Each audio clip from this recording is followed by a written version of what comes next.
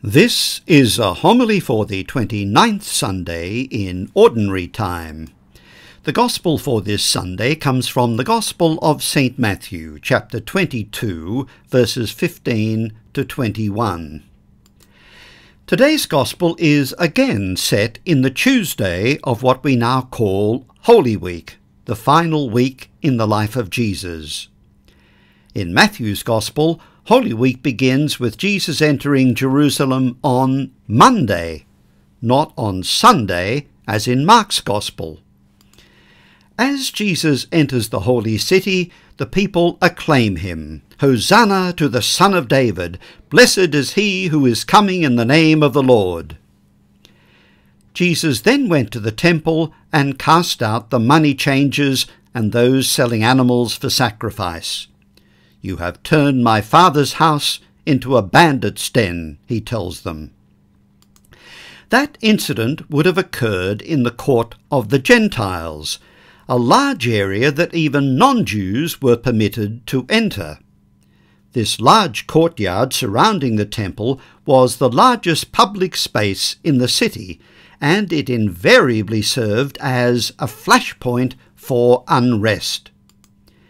In his work entitled The Wars of the Jews, the Jewish historian Josephus describes the vibrant instability of the city during the great festivals such as Passover, when the city was overcrowded with pilgrims.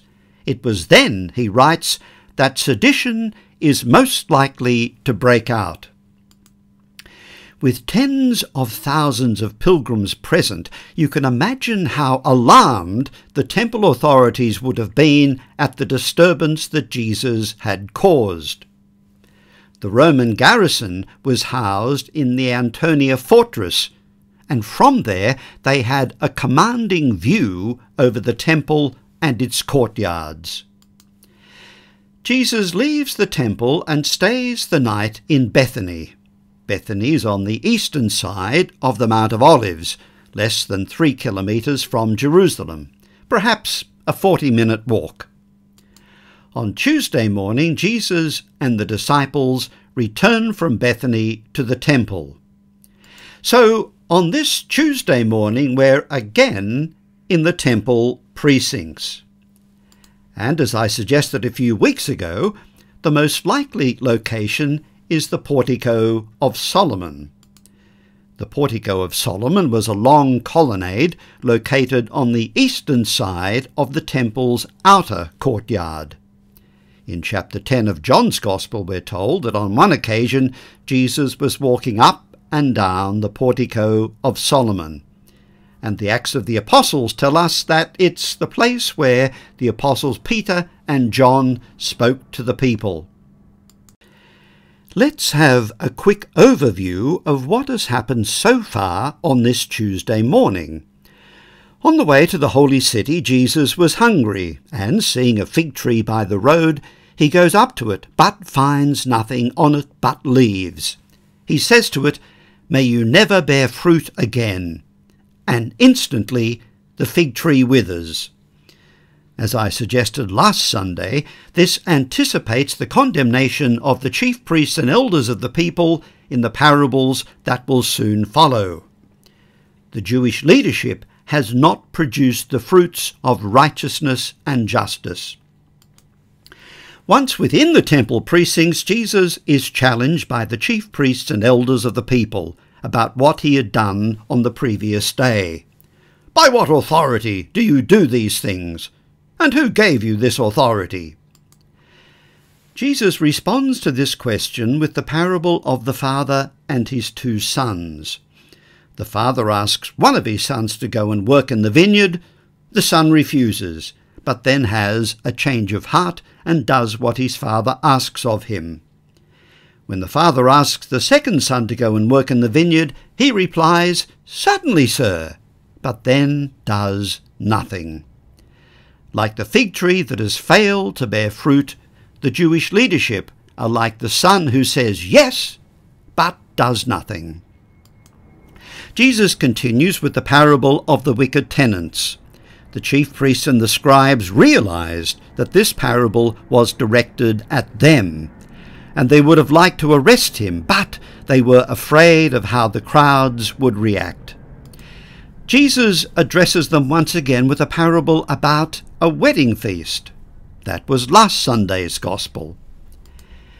The parable of the father and his two sons, the wicked tenants, and the wedding banquet were all directed against the chief priests and elders of the people. Now the disciples of the Pharisees, in company with the Herodians, appear on the scene. They approach Jesus with a seemingly innocuous question about the payment of taxes to Caesar. Despite their flattering introductory words, they are not seeking instruction. They are hoping to entrap him by what he says. Let's pause here for a moment to see who the people are that are involved in the events of this Tuesday. Josephus mentions three schools of thought among the Jews at this time the Pharisees, the Sadducees, and Essenes. The New Testament, especially the Gospels, mentions the Pharisees frequently, but it says far less about the Sadducees and nothing at all about the Essenes.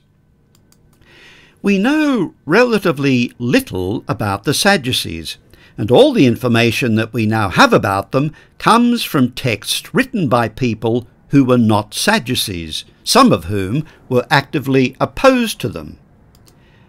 The chief priests and the leading aristocrats seem mostly to have belonged to the Sadducees. The chief priest wielded considerable power and formed the heart of the Jewish aristocracy. The Roman governors dealt with the chief priest and particularly with the high priest, who was chosen from their number. They were held responsible for the general conduct of the populace. So you can understand why they were alarmed at what Jesus had done in the temple on the previous day. For Josephus and the New Testament, the Sadducees are high priests and aristocrats who deny the resurrection of the dead. However, not all priests, high priests, and aristocrats were Sadducees.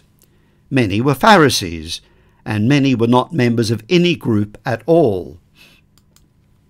Today we meet the Pharisees. Most scholars today agree that the name Pharisee derives from the Hebrew and Aramaic parush or perushi, which means one who is separated. The plural is perushim, they were zealous in their observance of the Torah, and presumably were called Perushim because they separated themselves from anyone who did not share their zeal. In Jewish antiquities, Josephus tells us that the Pharisees were extremely influential among the masses, whereas the Sadducees were supported only by the people of higher standing. At the time of Jesus, the Pharisees included both priests and lay people among their number. They believed that the ancestral tradition, what would later be called the oral Torah, was just as binding as the written Torah of Moses. The ancestral tradition included observance of the purity laws, tithing, and numerous details in the laws regarding oaths, Sabbath, and marriage. The Herodians were supporters of Herod Antipas, the son of Herod the Great. Herod Antipas was tetrarch of Galilee and Perea, coloured purple on this map.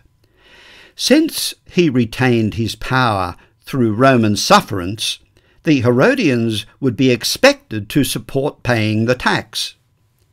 The alliance between Pharisees and Herodians is unexpected and unusual. They were ideological enemies. So, the disciples of the Pharisees and some Herodians asked Jesus a question about paying taxes to Caesar.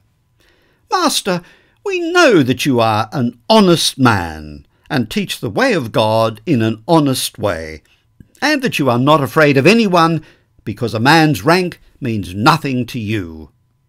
Tell us your opinion then. Is it permissible to pay taxes to Caesar or not? Taxation was a volatile and incendiary issue. It was a hot topic. The Jewish historian Josephus tells us about a revolt led by Judas the Galilean. In 6 AD, when Jesus was a young boy, Judas the Galilean led a revolt precisely on the issue of taxation. Judas taught that God was the sole ruler and that all Jews were obliged to collaborate in the establishment of the sole rule of God. In practice, this amounted to a refusal to pay tax.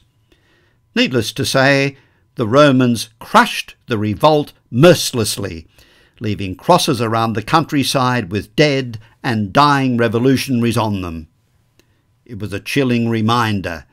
Taxation was compulsory, not optional. Ever since the Jewish homeland had been added to the Roman Empire in 63 BC, Rome had required a large annual tribute from the Jewish people. Most of the tribute was collected through taxes on land and agricultural production, but there was also a poll or head tax. The poll tax had to be paid in Roman currency by men, women, and slaves between the ages of 12 and 65. It was a tax of one denarius per annum. Roman taxation was onerous, not only because it was economically burdensome, it also symbolized the Jewish homeland's lack of sovereignty.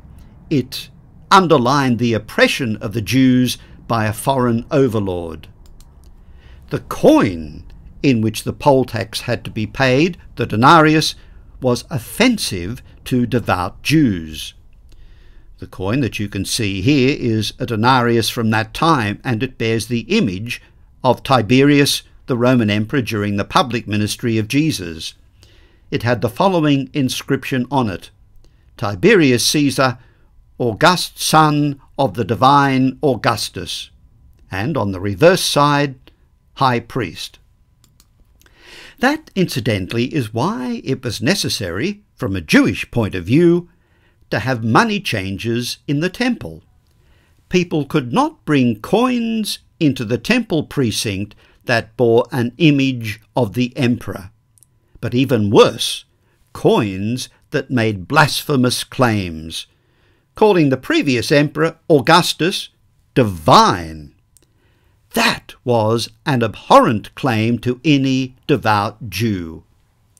Here you can see Jewish coins that were acceptable for use in the temple precinct. So, do we pay taxes or not? The trap had been skilfully set. If Jesus had said, no, don't pay the tax, he could be charged with sedition the blatant rejection of Roman authority.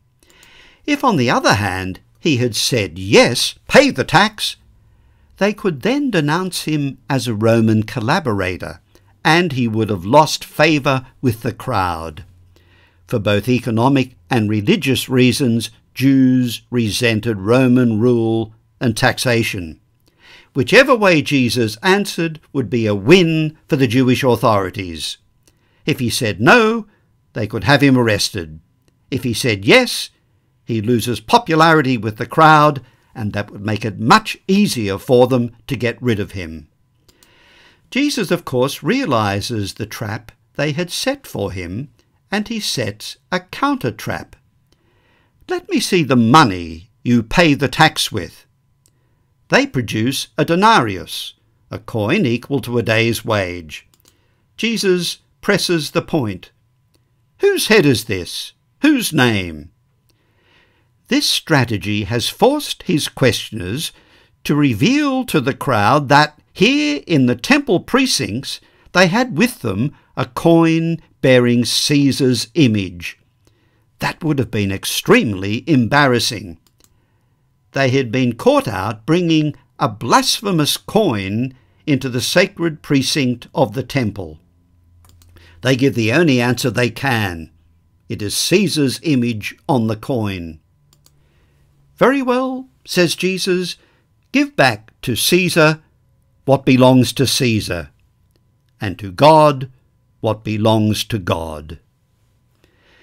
It's interesting to note that many contemporary readers of the Gospel see in this saying of Jesus an endorsement of what we now call the separation of church and state.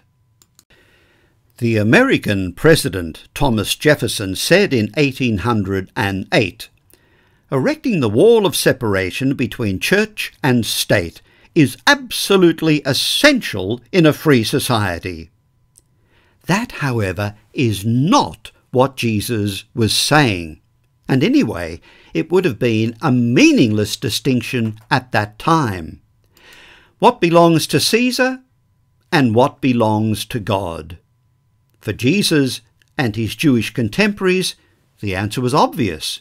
What belongs to God? Well, everything belongs to God. As we read in Psalm 24, the Lord's is the earth and its fullness, the world and all its peoples. So then, what's left for Caesar? Well, nothing is left for Caesar. The Canadian philosopher Charles Taylor has written extensively about this so-called division between church and state in his book A Secular Age. He examines a transition that has taken place between pre-modern societies and the modern Western state. Taylor writes, The change I want to define and trace is one which takes us from a society in which it was virtually impossible not to believe in God to one in which faith, even for the staunchest believer, is one human possibility among others. Belief in God is no longer axiomatic. He describes the individual who lived in pre-modern societies the porous self.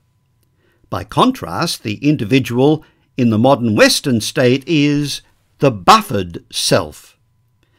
Let me use an example to highlight this transition. The porous self. Think of an individual swimming underwater. They are immersed in water. It is all around them. This is the porous self. The buffered self is like someone standing by a pool. The pool is there for those who might want to go for a swim, it's one option among many others.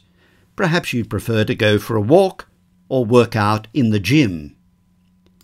So there you have the distinction. One person immersed in water, for the other it is one option among many. By way of analogy, there was a time when religion was an integral part of the fabric of society. People were immersed in religion like the swimmer in water. But now religious belief is one option among many others. In what ways do we live as a buffered self? Well, we tend to compartmentalise our lives. Just think of all the things that we do during the course of a day or during the week. We socialise, mow the lawn, eat together as a family, spend time in front of the TV, try to keep fit, spend time with the children, do household chores like washing and ironing, shopping, and cooking. We go to work. We go on holidays. We spend time travelling to and from work. We spend time on social media. We may devote some time to our life of faith and of course, we sleep. But this is not what the Christian life should look like. Our life of faith is not just one compartment in our lives alongside many others, and it can be jettisoned if we're too busy. The Christian life places Christ and our life of faith at the very centre of our lives, and it should inform every aspect of our lives and embrace all that we do. In a world of competing loyalties, our ultimate allegiance is to God and His kingdom. Today's Gospel won't give us any assistance in filling out our tax returns, nor does it pass judgment on whether or not taxes are legitimate. It takes taxes for granted. Nor can today's Gospel be used to justify a separation between church and state. Jesus uses a confrontation between the disciples of the Pharisees and the Herodians, a confrontation not of his own making, to remind us of the greatest commandment. You must love the Lord your God with all your heart, with all your soul, and with all your mind. This is the story that we'll hear in next Sunday's Gospel.